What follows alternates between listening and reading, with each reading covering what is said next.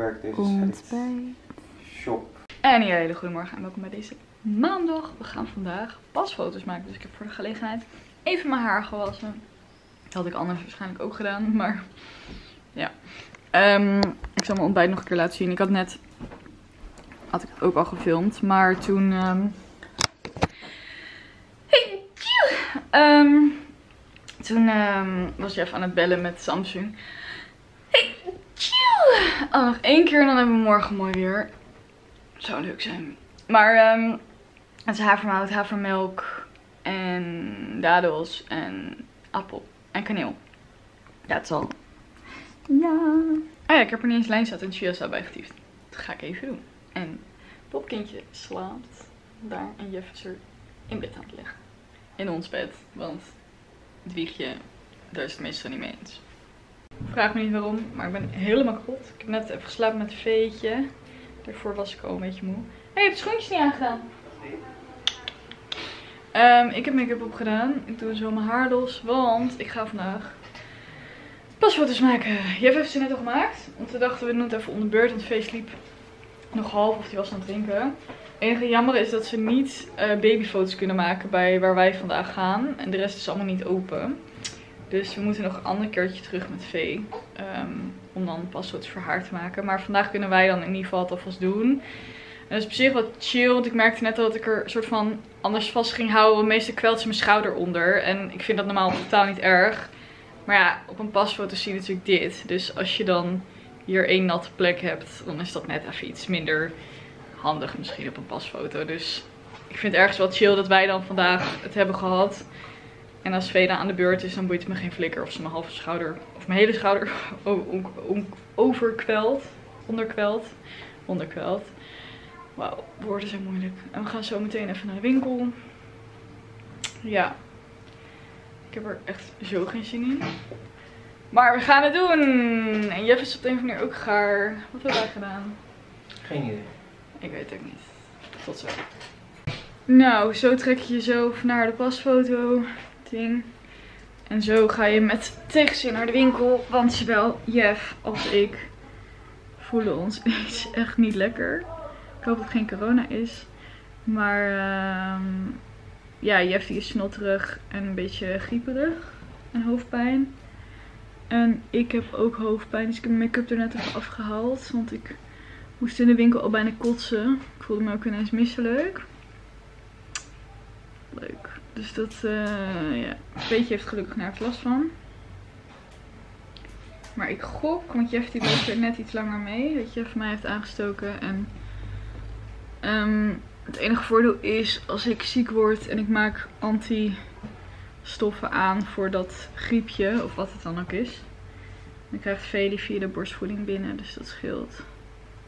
Dus ik hoop dat zij eh, geen last gaat krijgen. Gezondheid. Nou, zo gaat het hier dus. Dus eh, ja, we gaan even kijken wat we gaan doen. Misschien kunnen we even liggen of iets. Ja, maar eh, we voelen ons niet helemaal op. Hoi hoi. Ik weet niet eens of ik het gezegd heb, maar Jeff heeft een eh, coronatest gedaan. Die was negatief. Verder hebben Jeff en ik bijna de hele dag op bed gelegen. Of nou ja, vooral ik. En dat heeft echt geholpen. Ik voel me nu eigenlijk al een stuk beter. En ik ben zo blij met Vee. Want ik had eigenlijk verwacht dat overdag slaapt ze eigenlijk nooit echt heel erg lang of goed. En alleen in de avond bij ons. Maar overdag slapen wij natuurlijk niet. En in de avond wel. En ze heeft gewoon de hele tijd met ons meegeslapen. Ik ben zo blij en dankbaar daarvoor. Want ik, ik was toch wel een beetje bang. Want ik had echt zo'n hoofdpijn. Ik was misselijk. Toen dacht ik, ja, als Vee dan maar een half uurtje slaapt en daarna gaat huilen of gewoon niet wil slapen, ja, dan is het toch wel pittig als je als ouders allebei ziek bent en je kind wil de hele tijd eh, toch spelen, wat ook logisch is dat zij niet de hele tijd wil slapen. Maar ze heeft de hele tijd met ons meegeslapen. Ik hoop wel dat zij dan ook niet zich ziekjes voelde, maar in ieder geval, eh, ze slaapt nu nog steeds. Ik ben echt net weggegaan om naar de wc te gaan. Je ligt nu bij haar echt heel dankbaar dat ze zo goed sliep. Terwijl wij ons helemaal kapot voelden. Dus ik weet niet hoe de avond nu gaat, gaat zijn. Want meestal slaapt ze overdag dus niet zoveel. En in de avond dan wel meestal 9 of 10 uur. Maar ehm, dat wordt vervolgd. maar nee, echt super blij ermee. En ik ben blij dat ik me weer wat beter voel en dat je geen corona heeft. Jij vindt het toch wel spannend, ook omdat hij uh, suikerziekte heeft. Wat zou ik nog meer zeggen? Ja, ik heb het net met je even over gehad. En we denken allebei eigenlijk dat het gewoon even misschien was dat we gewoon te veel gedaan hebben de laatste tijd. We hebben ons echt, we waren echt dag en nacht bezig met, uh, nou ik met Vee en Jeff met zijn werk. En daarna met de rijlessen. En we hebben zoveel rijlessen gehad. En we zijn er zo druk mee bezig geweest. En de afgelopen dagen met ontspullen natuurlijk. De hele tijd. Elke dag. Het stopte eigenlijk nooit wat we aan het doen waren. We waren de hele dag bezig. En ik denk dat dat er nu ook even uitgekomen is. Dus dat, tenminste daar waren we het samen over eens. Want mijn ouders hadden vroeger bijvoorbeeld ook dat ze echt non-stop aan het werk waren. Um, en dat ze toen dan op vakantie gingen. En dat ze dan ook altijd de eerste dagen van de vakantie ziek waren. Omdat als je rust neemt, dat je lichaam dan toch ineens denkt van... Hé, wacht even. Dat, dat het er dan allemaal uitkomt. Dus ik denk dat dit misschien even een goede les was om het weer even wat rustiger aan te doen. In plaats van alles op de vijfde versnelling. Het zit nog wel in mij om dat te doen. Ik zit ook te twijfelen. Ik denk dat ik, ja, dat ik het wel ga doen. Maar er is een sollicitatie die ik eigenlijk deze week heb. En ik weet het niet. Ik denk dat ik er gewoon nog niet aan toe ben om te werken. En ik heb ook jullie reacties gelezen op de vlog die ik online had gezet over hoe ik over werken denk. Die is nu net online gekomen en ik kreeg er hele lieve reacties op. Ook van ja, weet je, die tijd met haar krijg je niet terug. En ik heb eigenlijk een hele luxe situatie dat ik negen maanden lang een uitkering kan krijgen. En het past niet echt bij mij om daar heel lang gebruik van te maken. Want ik voel wel een soort van pressure dat ik weer moet werken. Maar misschien moet ik het gewoon even loslaten. En ook wat ik bij sommige reacties las. Misschien gewoon het koophuis inderdaad echt gewoon even uit mijn hoofd zetten. En gewoon eerst focussen op een huurhuis. En als we dat hebben, dan brengt dat misschien ook meer rust als we meer ruimte hebben. En dan kan ik gewoon rustig gaan werken. En ja, ik denk dat ik me daar eigenlijk ook wel fijner bij voel. En uh, nou moet ik ook zeggen, het, geeft ook heel veel rust dat we hier zoveel hebben opgeruimd. En ja, weet je, wat dat betreft, je moet toch even dealen met de ruimte die er nu is. En um, dat voelt wel nu al een stuk fijner. Nu ook de tv hangt en we weer kasten leeg hebben gemaakt. En, um, ja, ik ben echt wel trots op ons. Dus uh, we komen er wel. En het duurt gewoon allemaal langer voor ons. Ik ben in ieder geval vandaag pasfoto's gemaakt, dus we kunnen binnenkort ons rijbewijs aanvragen. En dan kunnen we hem ophalen. En dat is ook wel heel leuk, want dan zouden we al een autootje kunnen huren eventueel. We willen ook kijken hoe het hier in het centrum zit met parkeerkosten. En of daar een speciale regeling voor is. Uh, dat we dan misschien een autootje kunnen kopen dus. En hem hier neer kunnen zetten. Maar het is ook even de vraag of dat wel makkelijk is. Want het staat hier altijd helemaal vol. En ja, het is toch het centrum. Dus, uh, maar goed. Ik denk dat ik uh, hierbij in ieder geval de dag even ga afsluiten. En uh, bedankt voor het kijken als deze vlog te lang is geworden. En anders kijk lekker verder. En in ieder geval bedankt voor het kijken naar vandaag. En ik ben heel blij dat ik me weer even wat beter voel. En dat Vee gewoon zo'n lekker ding is. Dat ze gewoon zo goed meegeslapen heeft. Ik ben echt de allertrotste moeder ooit. En ook als ze was gaan huilen, dan was ik ook trots op haar. Maar ja, ik vind het stiekem wel heerlijk dat op het moment dat wij knallende hoofdpijn hadden, dat ze zelf ook ging slapen. Echt. Ik had me niet kunnen voorstellen dat het leven met een kind zo fijn en mooi zou zijn. Ik ben echt blij. Doei. En ja, hele goedemorgen en welkom bij deze dinsdag. Helaas is Jeff nog steeds ziek. En ik uh, voel me gelukkig wel een stuk beter. Daar ben ik heel blij om. Dat in ieder geval één van ons een beetje ter been is. Dus Jeff die is even met Vee en ik heb even de afwas gedaan. Ik weet niet of je het kan zien. De afwas gedaan. Uh, gemberthee voor ons gezet. Ontbijt voor ons gemaakt. Dat staat nu klaar. Ik ben deze even met uitkoken.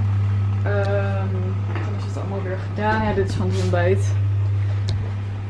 Uh, papierbak buiten gezet. Plastic afval buiten gezet. Um, ja, enige nadeel is altijd als je dan papierbak wegzet, dat je dan vervolgens een shitload aan papierafval hebt. Oh ja, dit is ook nog afvalpapier. Maar goed. Ehm, ik zal even het ontbijt laten zien. Het is gewoon havermout met appel en dadels uit de oven en havermelk. Maar ik had niet heel veel havermelk meer, dus het was een beetje droog. Dus ik heb er sojayoghurt voor ons beiden bij gedaan. Met lijnzaad en chiazaad erop. Voor de omega 3. Ehm, ja, dat eigenlijk.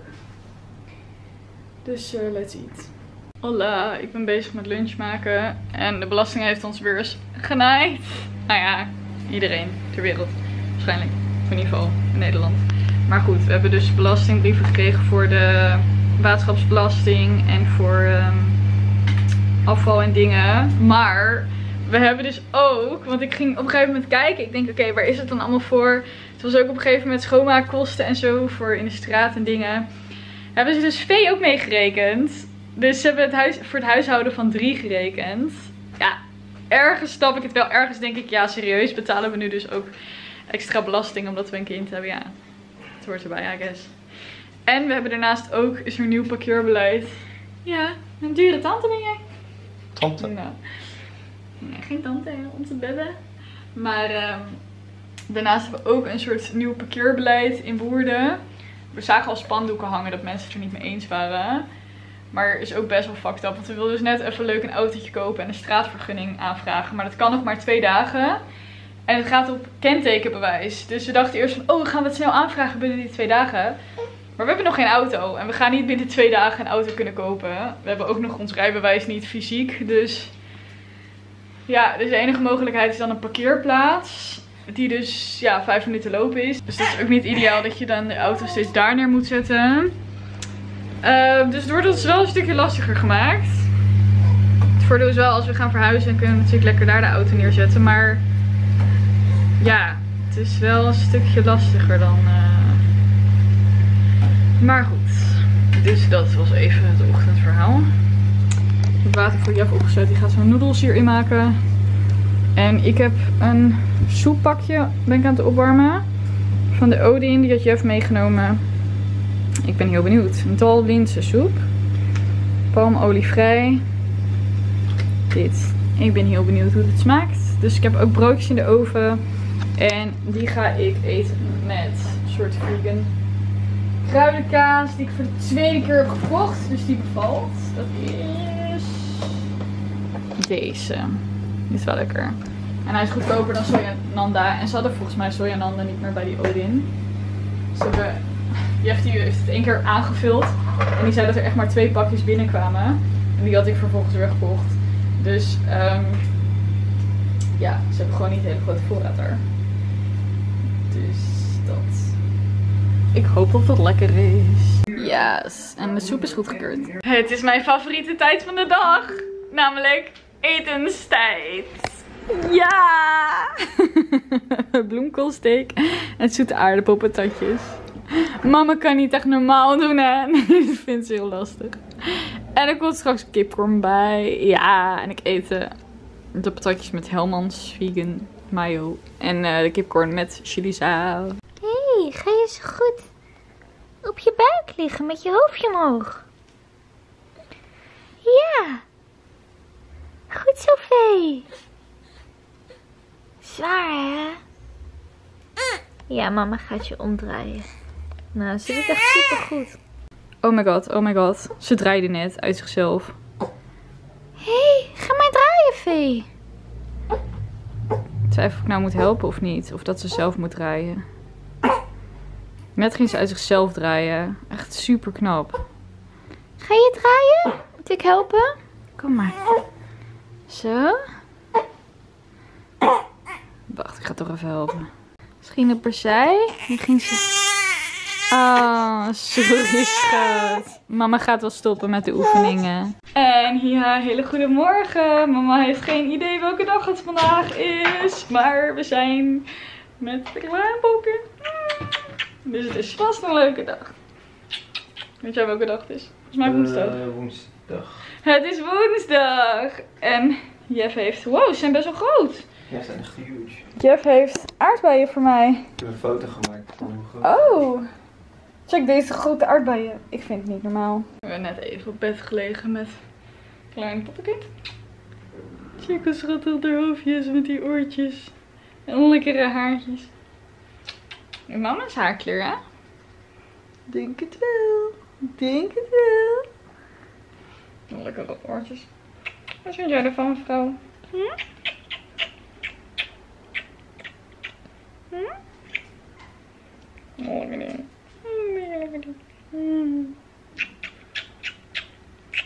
Oh ja, ik weet trouwens niet eens of ik het gezegd heb, maar gisteren was Vee drie maanden en 13 weken. Allebei precies.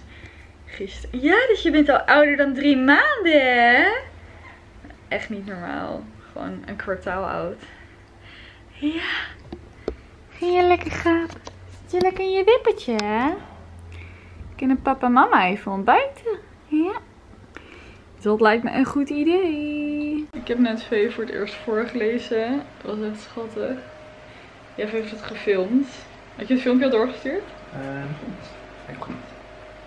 Hij had het ook op Instagram geplaatst. En nu is het tijd voor het volgende spelletje. Met deze, hè? Die vind je heel mooi. Ja. Dat is de favoriet. jou twee grote huizen en een hoger.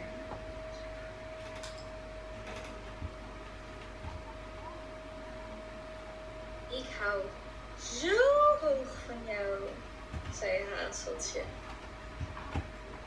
Wat schattig. Die oogjes. En ik hou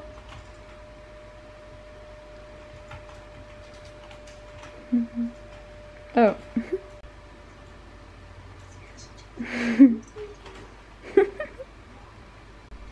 Ik hou van jou tot in de puntjes van jouw tenen, zei grote haas.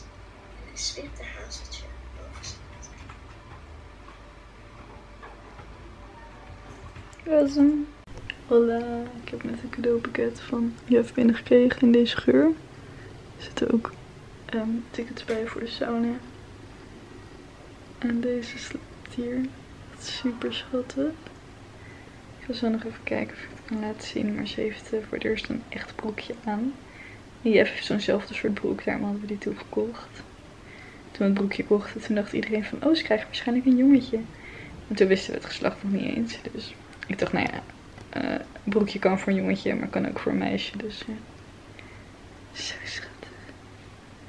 En ik ga even dit boek lezen. Ik weet dus oprecht niet meer of ik mijn lunch gefilmd heb. Maar ik had eh, een bruin broodje met, of zo'n afbakbroodje. Dat alles niet. Met eh, die vegan kruidenkaas en kipcorn. Twee keer kipcorn met chili saus. Niet het meest gezond, maar oké. En ik heb net granola gemaakt. Voor echt voor het eerst weer in 10.000 jaar voor mijn gevoel. En ik ben nu met deze mooie meid aan het spelen. En deze man heeft lekker boodschappen gedaan. Dus ik ga een keertje wat gezonders maken. Qua lunch. Dat is het idee voor nu. Kijken hoe de uitwerking wordt. Maar, en ook qua ontbijt wil ik ook weer even... Ontbijt nu een beetje van alles en nog wat. Ik verzin steeds maar weer wat. Maar eigenlijk wil ik gewoon weer even normaal ontbijten. Dus ik ben blij dat ik nu weer heel veel granola heb gemaakt. Dan kan ik weer de komende dagen gewoon met sojayoghurt eten. En qua lunch wil ik ook gewoon even iets gezonders. Met verse groenten en dingen in plaats van al, die smeersels. Er zat wat havermout in mijn keel. Dus ja, ik ben wel benieuwd wat ik allemaal ga eten de komende dagen. Ik eh, laat mezelf verrassen. Ik hou gewoon veel groenten en dingen in huis en dan zie ik het wel. En ik lees allemaal recepten door en dingen. Ik heb dit boek weer even opgepakt. Ik vind het heel interessant. Dus allemaal zero waste eh, recepten, maar ook ehm, ja, recepten dus voor, voor van alles en nog wat. Dus eh, voor wasmiddel, voor het eh, reinigen van je keuken. recepten dus voor alles reiniger te maken. Glasreiniger. eh, om je badkamer schoon te maken, maar ook gewoon voor eten. Dus ja, ik vind het echt wel een heel leuk boek. Niet gesponsord trouwens. Maar deze dus. Verder heb ik nog deze eetboeken. Die vind ik ook interessant. Die heb ik heel lang bij mijn moeder in een doos laten liggen. Maar ik wil ze nu toch weer eens oppakken. Het zijn wel hele fijne vegan kookboeken. waar ik wel weer wat meer uit wil eh, lezen. En deze ook, Crazy Sexy Kitchen, had ik eigenlijk voor mijn moeder besteld. Maar ze vond Engels toch niet zo chill, dus nu heb ik hem. Ehm, maar ja, wel een inspirerend boek. Deze vrouw heeft eh, kanker overwonnen ehm, door haar eh, eetpatroon onder andere. En mindfulness. Dus ja, wel interessant. En eh, zij is mijn inspiratie geweest waardoor ik eigenlijk veganistisch ben gaan eten. Dat is een YouTuber, een Britse YouTuber. En deze chickie, ehm, ik weet niet, ik vind haar op Instagram niet geweldig, maar haar kookboek is wel heel erg leuk. En zij heeft een auto-immuunziekte gehad. En zij heeft ook haar ziekte overwonnen door middel van eten. Dus ja, ik vind dat wel heel interessant. Healthy de healthy. En als ik gezond eet, dan krijgt Vee natuurlijk ook vitamines door via mijn borstvoeding. Dus zeker belangrijk. Dus mama eet nog steeds een beetje voor twee, hè? Ja! Ja! Hola, Jeff en ik zijn net teruggebeld. En er is vrijdag hebben wij, als in ik en Vee, een bezichtiging. Um, Jeff die moet helaas werken. Dus um, om half elf op vrijdag gaan wij een appartementje bezichtigen. En uh, ik ben heel benieuwd. Het is wel wat duurder dan we wilden eigenlijk. Uh, we wilden eigenlijk voor iets van 1000 per maand gaan. Maar deze is 1200 per maand. Dus 200 euro meer. Het is natuurlijk exclusief. Dus zonder gas, water en licht erbij. Maar het is natuurlijk wel een stap vooruit. En we kunnen het betalen. Dus op zich, um, ja, moet ik het maar gewoon doen. Ik merk wel dat ik stiekem nog eigenlijk het liefst natuurlijk een koophuis had gewild. Maar ja, ik heb ook vandaag met Jeff toch een beetje de knoop doorgehakt. Dat ik het waarschijnlijk toch wel heel fijn vind om nog even iets langer van mijn uitkering gebruik te maken. En bij Veetje te blijven. Uh, en nog even niet actief te zoeken naar een baan. Dus dat geeft mij ook wel rust in mijn hoofd. En als we dan toch een huurwoning hebben waar we minstens een jaar moeten zitten, zeg maar. Dan geeft dat eigenlijk ook wel rust. Als we maar iets hebben. En het is misschien toch wel goed. Ook al bevalt de ruimte wel beter sinds we meer ontspeeld hebben en zo. Het blijft klein. En je hebt toch sneller prikkels aan elkaar. Omdat je natuurlijk niet een aparte kamer hebt waar je ook even rust kan pakken. Dus het is eigenlijk wel goed voor ons. Dus um, ja, vrijdag wordt dus een spannende dag. Ben benieuwd.